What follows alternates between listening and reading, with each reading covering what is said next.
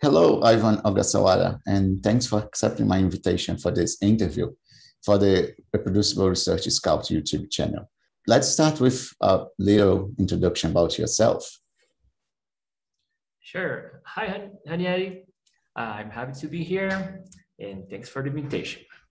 Uh, well, about myself, uh, I'm originally from Brazil, and currently I'm living in Bolivia. Uh, well, uh, I've been working with software development since 2002 uh, for different areas.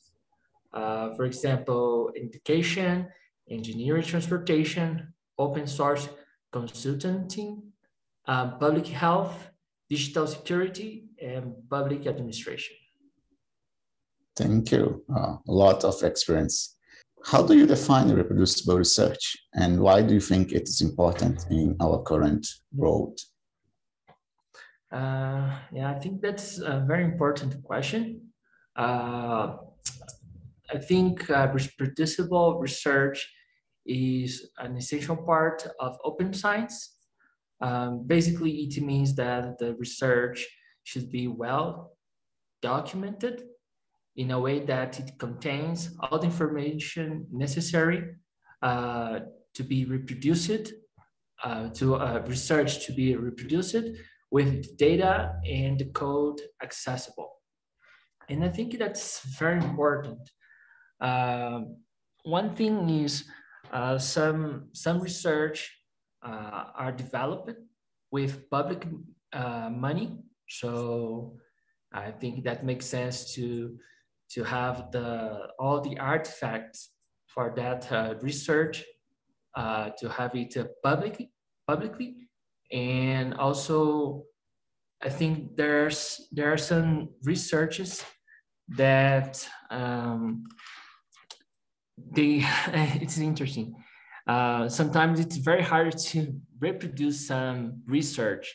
Sometimes there is a lack of information. Sometimes uh, there is no data, so you cannot uh, reproduce that research. And sometimes they just use uh, like a pseudo code and it's very hard to reproduce that. You need to do all manually and sometimes not well, very well uh, documented. Also, sometimes it's hard to install the dependencies. So I think it's like um, uh, a very important topic. Yeah, the pseudocode is a really big challenge uh, in terms of reproducibility. Let's talk a little bit about Python. I know you use Python for the majority of your research. When was your first contact with Python and how was your learning journey? Uh, well, uh, not super sure, but I think I started to learn Python in 2012 and that at that time I started uh, with just Python and Django. Uh, but uh, in 2013, I started to work at a transportation laboratory. And there I have contact with the scientific, scientific Python stack. So for example, libraries such as NumPy, pandas, matplotlib, numba, and so on. scikit-learn as well. So a, a lot of different uh, kind of libraries. Also, it was my first time working with with data uh, acquisition.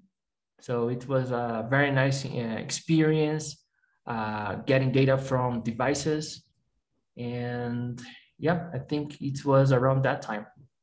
And about my journey uh, after that, I've been working with Python uh, almost uh, daily. So yeah, that's uh, I I I'm very happy with Python, and I really like to work with that. Back when you were learning NumPy and Pandas uh, on your first time, do you think that the, their documentation was really accessible, or do you think it, they did a lot of improvement? Yeah, it's a good question. I have a bad memory, but as far as I can remember, uh, I used to use a lot of the community channels like Google, groups, for example. I think uh, mainly group, uh, Google Groups, and people there was very were very helpful. Because I know your mother tongue is Portuguese, so I imagine that given the fact that all the documentations are in English, sometimes it can be quite challenging to start um, because of the language barrier. But looks like That's, groups yeah. is a really nice way to uh, overcome this barrier. So uh, yeah, just an extra comment about that. The point is the groups also were in English, so it was also a bit hard. But I'm pretty sure you could find some groups in Portuguese. Yeah, that's uh, right. Uh, can you share with us a little bit about your Python developer setup these days? Uh, sure. Um, currently, mainly I use uh, Conda and Poetry. Uh, what is Poetry? Poetry is um, a package manager. It's kind of similar to Pip, probably to use Pip under the hood, but Poetry, uh, it's it's like a, a more high level way to to update your dependencies files.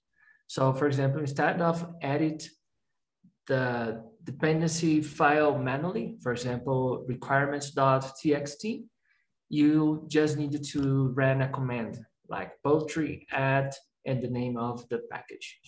So it is very nice because you, for example, if you change the requirement file file manually, maybe you can add a new dependency that has conflicts, dependency conflict in, uh, uh, among the other dependencies.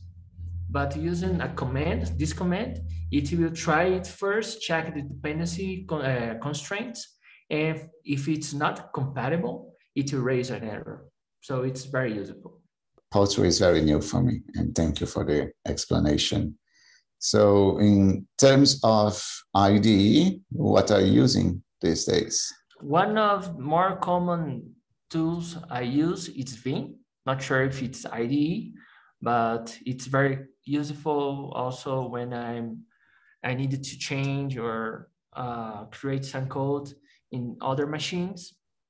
So it's useful. But the the main part of my work I use for the main part of my work, I use uh, VS Code or VS Codium as well. Good, very nice.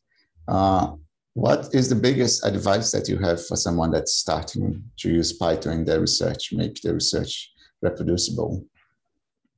So, uh, Conda is a, a very uh, nice package manager.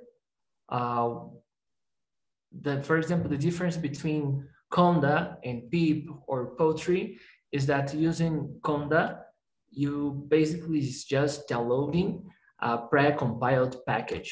So you don't need to have the tools uh, necessary uh, for com the compilation. You just need you just need to download and uh, install. In this case, it's basically uh, saving the, the files into specific directories. And you don't need also, you don't need uh, root or admin uh, privileges to install that. It will, it will install in the user environment. So, um, so, uh, so uh, in the past, before Conda, also I saw some some tweet about before BC before Conda. It was a different era. era. So uh, before Conda, it was uh, very common problems about installation because uh, someone created a package that was uh, working perfectly in a specific machine, but other people that tried to install that in their machines, it was not working. So it was like very frustrating, frustrating that time. So yeah, now with Conda, it's for example, packages like GDAL, uh, that is very problematic. Uh, currently using Conda, it's very, very simple. Yeah, uh, need to clarify to our audience that uh, big majority of some of the Python packages are fully write on Python, so they don't need to be compiled. So um, the essence, they would work with just with pip. But for most of the scientific stack, like NumPy and SciPy and Pandas, big part of the code is written on C or C++ plus or Fortran, and then those files need to be compiled. So uh, that's one of the main reasons for Conda to get all this package that has C, C++, or Fortran dependence and compile them uh, and just provide a binary for the user, which will be faster and will avoid the dependence of having a C compiler or whatever other compiler they have. Do you want to say about something about Mamba? Recently, I heard that it is faster and provides more uh, information to the user. About Mamba, um, Mamba was created because mainly because uh, Conda uh, start getting started to be very popular. And uh, for example, Conda Forge is one of the most uh, popular Conda channel available. And there are a lot of packages there. So in the, uh, with this scenario, uh, the, the, the code the library that is used to resolve all these uh, dependencies trees uh, was taking too much time. So for example, to, sometimes to install a package, it was taking around maybe 10 minutes and it's not like uh, acceptable. So it's not uh, something that uh, any user wants to, to wait in order to install one package. So another company called, I think, QuantStack started to work on a, a, a new project called Mamba. And Mamba is a C++ drop in place, uh, uh, drop in place uh, package manager that works on top of Conda. So basically, it will, sorry, it will work together with Conda, but with a better uh, resolver and much faster. Cool. But yeah, and the point now is that uh, the good point, I mean, uh, is that Conda is now uh, uh, has an option to use Mamba. In this case, MambaLib, that will be like the core for the, the resolver. Very nice. Thank you for all your explanation. So our time is running out. Any project that you want to share with us? Currently, uh, I'm a volunteer in a project called Open Science Labs. Uh, it's a community that aims to help students, teachers, and scientists from Latin America region uh, with topics about open science and open computing tools and programming languages. Sounds a very interesting project. I will include a link on the description of the video. So thank you, Ivan, for your time. And this was a very joyful and delightful conversation. I hope that you have a joyful night and big success on your projects. Bye-bye. Thanks so much. Have a great day. Bye-bye.